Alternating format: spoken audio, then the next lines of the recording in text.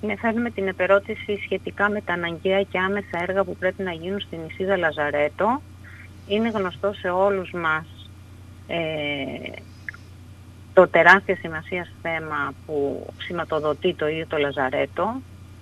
ε, που είναι σύμβολο ηρωισμού και αγώνα του λαού μας. Ε, η εγκατάλειψη και στο Λαζαρέτο όλα αυτά τα χρόνια είναι δραματική. Ε, έπρεπε να είχαν λυθεί ε, πολλά ζητήματα με ευθύνη διάφορων κυβερνήσεων τοπικών και περιφερειακών αρχών έχουν αφαιθεί να λιμνάζουν, ζητήματα τα οποία έχουν να κάνουν με τη φύλαξη του μνημείου, με την πυροπροστασία του, με την προσβασιμότητά του, ε, με παρεμβάσεις που πρέπει να γίνουν για τη συντήρηση και την ανάδειξη του μνημείου, του τείχους που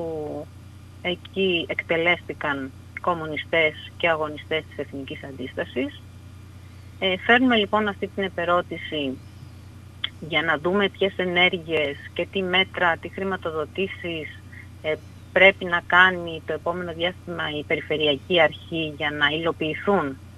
ε, αυτά τα μέτρα ε, διάσωσης και στήριξης ε, και φυσικά θέλουμε να, να υπενθυμίσουμε ότι και με την ε, εκδήλωση που έκανε το κόμμα μας στο Λαζαρέτο ε, και μέσω της ομιλίας του Γενικού Γραμματέα της Κεντρικής Επιτροπής το κόμμα μας δήλωσε ότι θα κάνει ό,τι περνάει από το χέρι του για να αναδειχτεί το Λαζαρέτο όπως αξίζει, ως κορυφαίο δηλαδή και επισκέψιμο και όχι απρόσιτο μνημείο αντίστασης και αγώνα του λαού της Κέρκυρας της Επτανήσου και όλης της Ελλάδας ενάντια στην κοινωνική αδικία, έθεσε στη διάθεση ε, όλων των αρχών της α, Κέρκυρας, δημοτικών και περιφερειακών, ε, τις δικές του, τα δικά, τις δικές του δυνατότητες, δηλαδή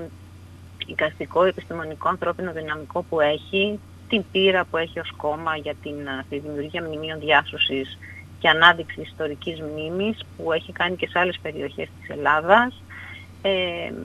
αντικείμενα, κοιμήλια, δηλαδή είναι στη διάθεση των αρχών για να συμβάλλει με όλες τους τις δυνάμεις ώστε πραγματικά να αναγνωριστεί το Λαζαρέτο όπως το αξίζει.